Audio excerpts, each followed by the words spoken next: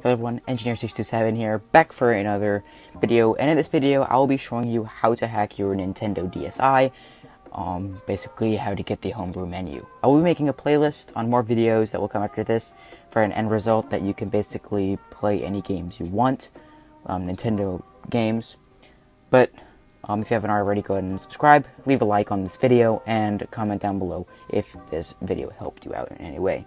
First you're going to need is a Nintendo DSi, of course, and you're also going to need a SD card. I recommend you get a 2 gigabyte one. Uh, I don't recommend making it any smaller, but any larger will be okay, except we could be running into issues if you do.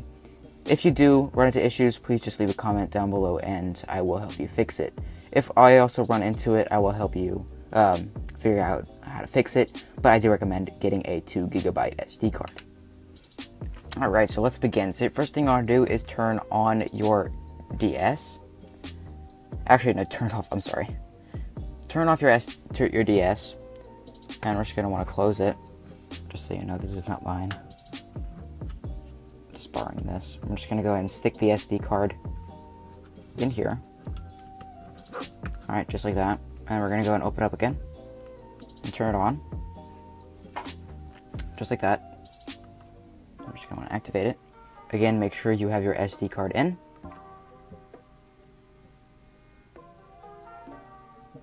Make sure you click on camera. And before you actually hit on camera, just you want to go back. Make sure that you click on SD card. And it's going to say creating new uh, file. And it's going to say photos taken zero. And then we want to click on camera to take a new photo. I'm just gonna hit start here. Capture. So just capture my, my, my finger here.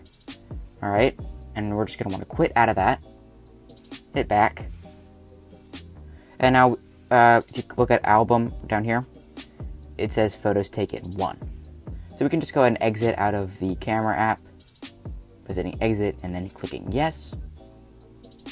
And then after that, we can simply just go ahead and turn off our DS and we can go ahead and remove our SD card. Alright, I'll meet you over at the computer for the next part in the process. Alright, so back on our computer with our SD card plugged in, you're just going to want to come over here and make sure you have your SD card selected, and then you'll have these two folders here.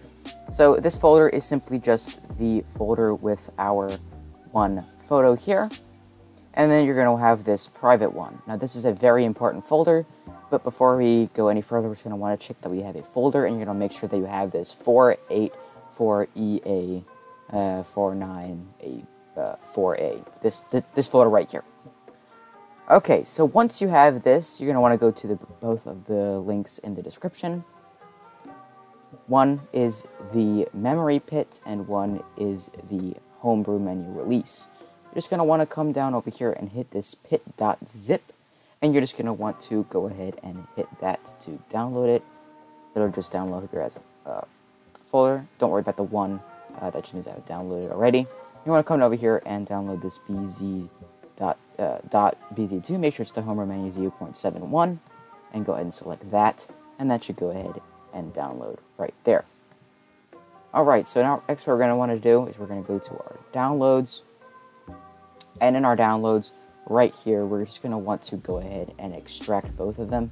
So we're just going to want to go ahead and open the homebrew menu. So just going to want to bo extract both of them. And I'll see you once I've done that. Okay, so now once we have both of the files extracted, we should have the HB menu 0.71. Don't worry about that one after both of these. That just means I already had them downloaded. And then the pit. Okay, so the next step in this is we're going to want to go ahead and go into this pit folder and we're going to want to go ahead and get into it. You'll see this pit.bin folder, just go ahead and click on it, right click on it and just go ahead and hit copy. Alright, so now we have it copied, now we're going to just want to go ahead and go to our private folder on our SD card, double click on DS, double click on app, and double click on 48 for that folder. And you're gonna see, we are we are we uh, we already have the pit.bin right here, but we're going to want to go ahead and paste a new one. So we're just going to go to Control V, and it's going to say the destination already has a file named pitbin. You're just to select replace the file in the destination, and it should go extremely fast. So there we go. We have the pit.bin file replaced. Alright, so the next step here is going to be to go back over to our folder here. Alright, and we're to come into this HB menu. Now, we don't need any of this, okay? We don't need any of this except for this boot.nds. Here, I'm to go ahead and close this. Except for this boot.nds file. So what we're to do is we're just to go ahead and drag and drop this onto the root of our SD card. So just plop that right onto there and give it a second for it to copy. And if we go ahead and select it, we have boot.nds. And that is all for on the computer. I'm going to go ahead and meet you on the DS. Okay, so now once you've unplugged your SD card from your computer, you should go ahead and just go ahead and plug it into your DSi once again. Like so. And just go ahead and boot it up. And I forgot to mention one more thing before you actually um, get this to work. It will not work unless you are on the newest um, firmware on the DS uh, Nintendo firmware. Just to let you know, of course, like the the newest, the probably it's old, but um, you should be on the 1.4.5 and then a letter after it. If you're not on 1.